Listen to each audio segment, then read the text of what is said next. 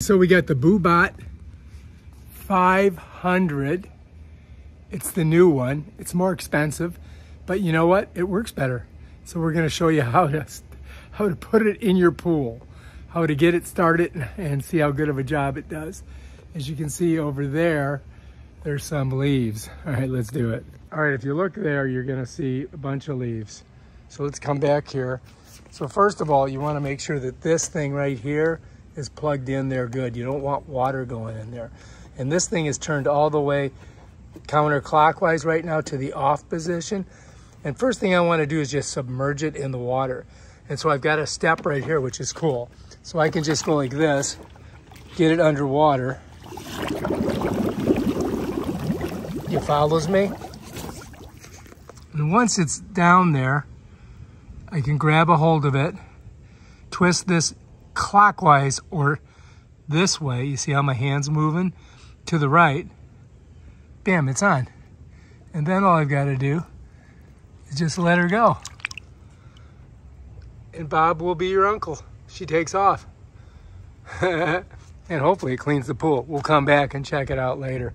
But you can see I've got some uh, stuff there, some stuff over there. And hopefully this bad boy gets going. Ready, set, go. there she goes. And I gotta say, this is a pretty good one. It doesn't crawl the walls like my Aiper Seagull Pro, but what it does do is it really does a good job on the bottom. You can see how high it gets. See, it gets, it gets up there a little bit, not too bad.